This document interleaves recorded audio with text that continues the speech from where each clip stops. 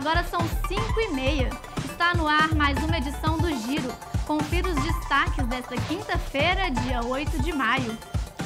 Uma iniciativa que há cinco anos vem auxiliando artesãos a conquistarem espaço no mercado. Estou aqui no campus Coração Eucarístico, onde acontece a sexta edição da Feira de Economia Solidária.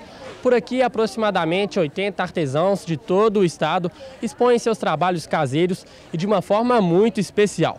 E ao meu lado está o professor Vanderlei Kiepk, que é pró-reitor de extensão da PUC Minas. Professor, qual que é a importância da universidade abrir, abrir as portas para, para esses profissionais? A meu ver, há uma grande importância nessa parceria, nessa ação, porque todos esses feirantes aqui são é, microempreendedores familiares que fazem artesanalmente né, os seus produtos para comercializar. Então, a universidade abre espaço para que eles possam vir expor e, e vender os seus produtos, se fazerem conhecidos e, ao mesmo tempo, também nós oferecemos oficinas que os ajudam a, a, a se organizarem melhor, tanto na produção quanto nos processos de venda, de, de registro. Então, de alguma maneira, nós conseguimos contribuir para que eles, que são da economia informal, possam ser mais bem-sucedidos no seu empreendimento. Muito obrigado, professor. Aproveitando aí que o Dia das Mães está chegando, corro aqui, venho aqui em frente ao prédio 30, dê uma conferida no trabalho do pessoal, que está muito bacana. Eu já vou correr ali para ver se eu compro um presente para minha mãe.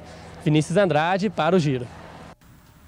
Um protesto de grande dimensão fechou, dura... fechou durante toda a manhã desta quinta-feira a BR-040 em Ribeirão das Neves, nos dois sentidos os manifestantes colocaram fogo em pneus.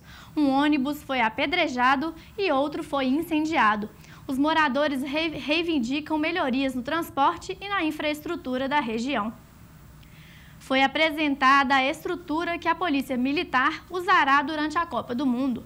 A polícia vai contar com mais de 12 mil militares e novo arsenal de armas não letais que usam som, luz e efeito moral para evitar atos considerados violentos nas manifestações.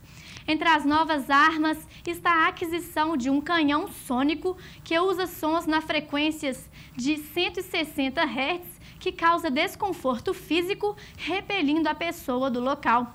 Além do canhão, a polícia poderá dispor de gás de pimenta, pistola com impulso elétrico e munição que identifica possíveis infratores. Essa edição do Giro fica por aqui. Continue ligado na nossa programação e entre em contato pelas redes sociais. Até a próxima. Tchau!